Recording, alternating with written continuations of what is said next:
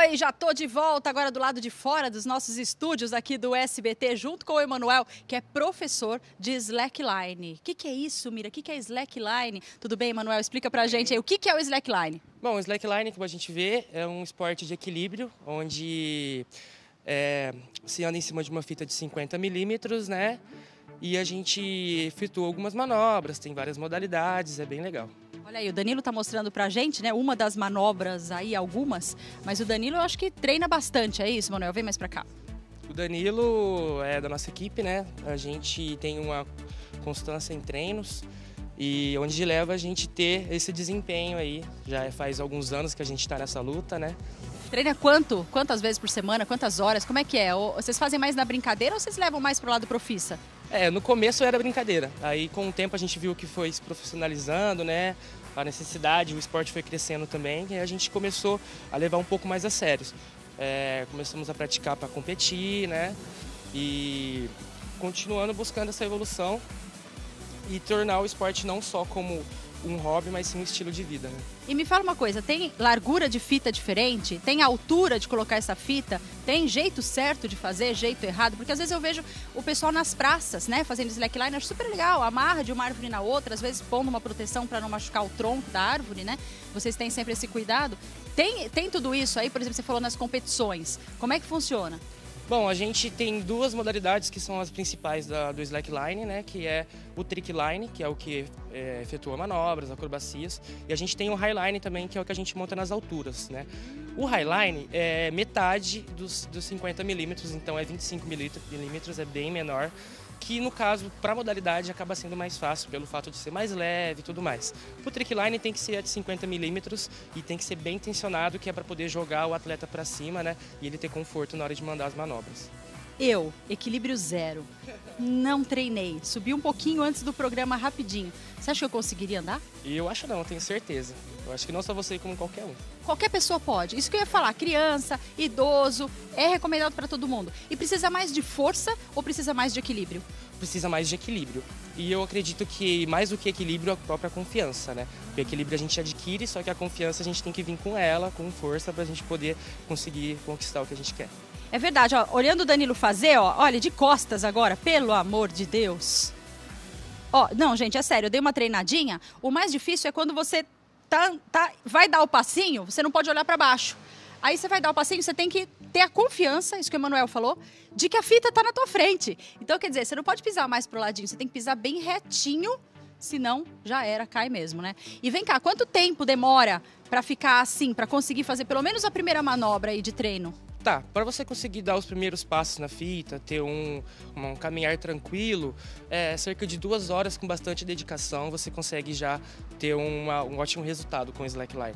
E vem cá, e benefício para o corpo? Ficam com o corpão? Muitos. É, não só é, o condicionamento, né, mas também a ligação com a mente, que a gente trabalha a velocidade de reação, consciência corporal, concentração e o principal que é o equilíbrio, né, tudo dentro de um esporte só. Agora, agora eu vou fazer um teste com o Danilo ali. Duvido que ele já deu entrevista lá em cima do slackline. Vamos ver. Agora quero ver, vou te derrubar agora. Literalmente. Não, não, lá em cima, lá em cima, vamos ver. Vai cair em cima de mim. Oi, Danilo. Oi, já caí aí. De novo. E aí, Danilo? E aí?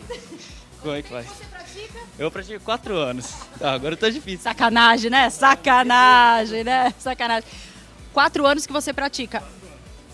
Eu tô vendo que você fica sempre de tênis. Eu treinei é, descalça. Tanto faz? Tanto faz. Eu acho que até descalça é melhor, porque você sente mais teu pé na fita uhum. e consegue posicionar ele melhor que com o tênis.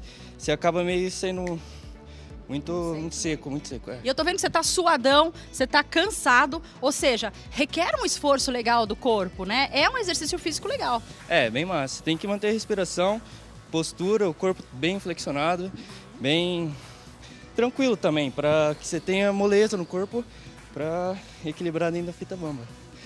Parabéns. Então daqui fazer o seguinte, daqui dois blocos, um bloco, eu posso vir treinar? Claro. Mas você me ajuda, vai ter que segurar na mãozinha. Não, vai dar bom, você vai atravessar tudo. Ai, meu Deus do céu, só, só que me faltava. Essa equipe me mata, viu? Aprendi tudo de equilíbrio no programa de hoje. Se você está acompanhando desde o comecinho, você sabe o que eu estou falando. Se você perdeu, entra lá no nosso portal sbtinterior.com para você rever o programa. Aqui fora, eu estou com o Emanuel e com o Danilo. Eles são professores de slackline. A gente também já explicou no outro bloco o que, que é esse slackline louco. Agora eles falaram, você vai tentar, Mira. Vou tentar? Tem que tentar.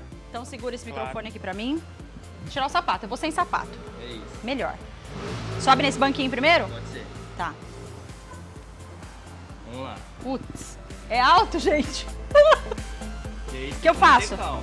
Ter respiração tranquila, queixo levantado, peito aberto, boca aberta. E no corpo. Tá. Confiança em você. Põe o microfone aqui pra ele, pra ele.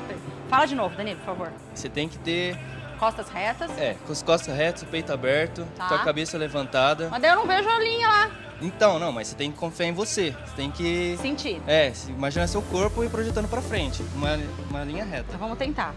E vai, confiança. Ai, ele afunda. Sim. Senhor amado. Vai respirando com calma. Cadê? Não, só. Se, se você me soltar, eu caio. Não, eu tô com você. Deixa eu apoiar eu assim na sua mão, assim, ó. Tá bom. Vamos lá. Tira uma foto aí.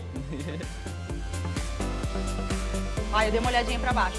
Suave. Aí, aí se você quiser Ah, dar uma super bem, dobradinha gente, no segurando. joelho, só pra dar uma firmada no corpo também. Como que é o agachamento? Peraí, eu vou até ali e vou voltar. Uhum. Agora eu tô gostando. Pode virar aqui também, né? Não, vou virar no banquinho, meu amor. O banquinho é bom. Pera aí, eu vou tentar soltar a mão, mas lá no meio. Tá Primeiro eu vou agachar. Ah, Isso. Tá bom. O que, que eu faço agora? Mais pro meio. Ai, senhor. Gente, não é mole, não. Você como é? Ah! Não consigo soltar a mão. Flexionar os seus joelhos É. o máximo que você conseguir. Tá, aqui. Pode ser sim. Eu quero pôr a direita na frente, pode? Pode ser, pode ser. Fica melhor. Ah, Segurando é fácil. Não. Peraí. Ó, teu braço você fica um pouco mais dobrado assim. E aí, conforme você joga pro lado ou pro outro, você tá direcionando teu peso. E aí você tem que distribuir ele pelos braços. Tá. Entendeu? Mas tem que ter força na Tá, coxa. Agora eu vou dar uma soltadinha Não, em você. não vai não. Só confia, só fica parada. Peraí, não. Pera, Fica deixa eu parado, voltar vou aqui. Deixa eu voltar um pé aqui pra trás. Isso. E É. aí sente teu corpo firme. Deixa eu segurar no seu ombro. Tá bom. aí vai tirando você mesmo, com- conforme você sentir. Depois você volta a mão. Vocês viram quanto tempo? Ó. Vai, confia, respira, fica tranquila. Isso. Ai, que legal! Agora eu senti o que ele falou. Que vai Peraí. jogando pra um lado e pro Tem que outro. ficar olhando pra frente assim? Aham. Se eu olhar pra baixo é pior? É, é, atrapalha um pouco, que ali você tá Ah! mais focado. Você tá tirando foto, eu vou virar meme, né? Tô sabendo. Ó, só com o dedinho, só com o dedinho no Danilo. Só com o dedinho. Uhum. Ah, meu Deus. Só mantendo calma. Chega. Quer dar um, Chega. um giro na fita? Soltei, eu soltei, mas já voltei de novo. Não dá pra andar sem ele, gente. Eles estão falando, anda sem ele. Não dá. Não, só esse último não, Só esse não, não, não, não, não, não. passinho. Boa, parabéns. Ai, agora eu vou cair daqui em cima. Agora mostra aí como é que faz um profissa. Vai pra mim. Um profissa pra gente. Agora é a vez do Emanuel. Deixa eu me calçar aqui.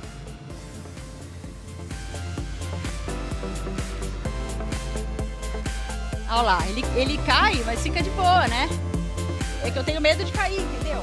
Mas se cair foi um... Você tem que Tá deitado. imaginar seu corpo. Se quando você estiver caindo, você tem que jogar ele pra não cair de, uma, de maduro. É, porque o medo que dá é cair. Mas se cair, tudo bem, põe o pé no chão. É, então, por isso eu falando, confiando em você. Porque se Uhum. você for cair, você ainda consegue se mexer e volta pro lugar. É aquele negócio, vê, vê que vê que vai cair, deita. Tá- vocês tiraram um monte de foto, né? A produção tá me falando aqui, gente, os telespectadores tiraram um monte de foto É, que massa. minha e vão mandar. Manda aí no meu WhatsApp que eu quero ver o mico que eu paguei hoje. É fácil, pensa que é fácil ser apresentadora, pagar esses micão? Foi bem? Nada. Foi bem, foi, tá. ótimo. Sim, com certeza, tava com uma postura boa. Geralmente a galera curva muito, Ah. ou não, tipo, ficar muito estático. Você tava... que você tava com bastante confiança. Isso, como eu tinha dito, É é, muito importante. Mas eu achei que eu tava assim, não? Não, Não transpareceu apare- tanto? Não. É, E aí agora pra começar a andar é só prática mesmo. Tá. Tem todo esse negócio de postura, de consciência, mas é muita prática também. É, exatamente. Vai, vai- sentindo, né? Acostumando, né? Obrigada, meninos. Por nada. Sucesso pra vocês, muito Obrigado. legal, Agradeço viu? Obrigada. Muito equilíbrio na vida de vocês. A gente está em busca disso.